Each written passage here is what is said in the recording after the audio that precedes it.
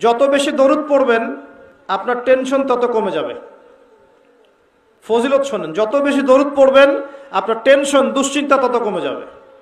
যত বেশি দরুদ পড়বেন, আল্লাহ তত রহম করবে আপনাকে। আপনার গোনাহ তত মাফ হবে। আপনার নেকির পাল্লা তত ভারী হবে। এবং মোহাম্মদ সাল্লাল্লাহু আলাইহি ওয়াসাল্লামের সুন্নতের উপর আমল করা আপনার জন্য সহজ হবে। আর সবচেয়ে বড় কথা, কেয়ামতের দিন আপনার পক্ষে নবী সাল্লাল্লাহু আলাইহি ওয়াসাল্লাম স্বয়ং সুপারিশ করবেন ইনশাআল্লাহ। যদি আপনি বেশি বেশি দরুদ পড়তে পারেন। কমপক্ষে সকালে দশ বার এবং সন্ধ্যায় দশ বার পড়বেন আল্লাহ সাল্লি ওয়াসাল্লিম আলা নবীন মুহাম্মদ। আমি তিনটা দরুদ পড়তে উৎসাহিত করি।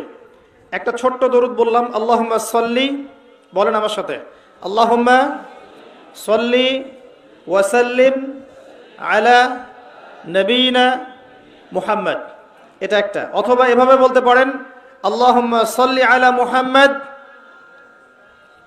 ওয়াসাল্লিম আল্লাহ সাল্লি আলা মুহাম্মদ ওয়াসাল্লিম অথবা যেটা আমরা পড়ি আল্লাহ সাল্লি আলা মুহাম্মদ ওয়ালা আলী মুহাম্মদ কেমা সাল্লাইত আলা ইব্রাহিম ওয়ালা আলী ইব্রাহিম, ইন্নাকা হামিদ মজিদ।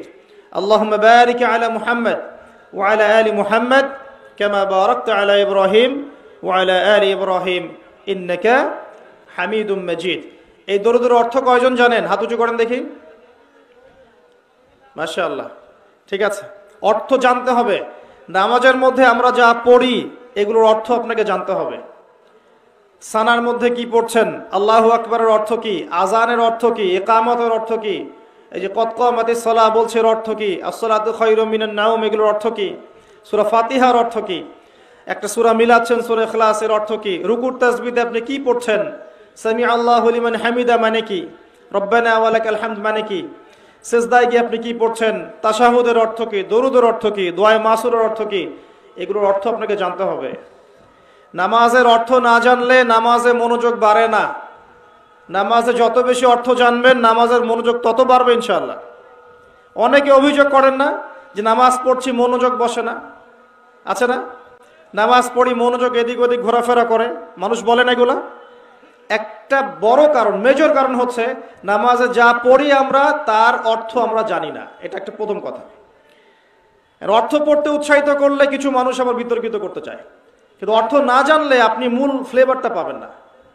তোতা পাখির মতো খালি মুখস্থ করে গেলে আর পড়ে গেলে আপনি মূল যে মেসেজ সেটা পাবেন না কখনোই। মনে করেন, নামাজের কথাগুলো আমরা বাংলায় বলছি, মনে করেন কথার কথা।